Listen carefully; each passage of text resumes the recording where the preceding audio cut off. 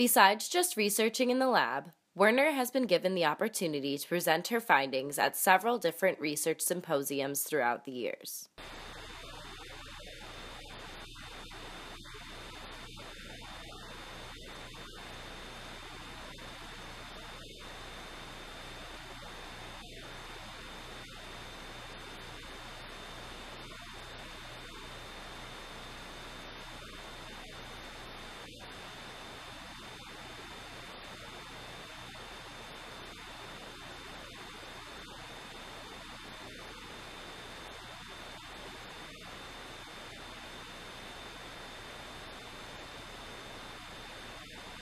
Werner advises students to follow their passion.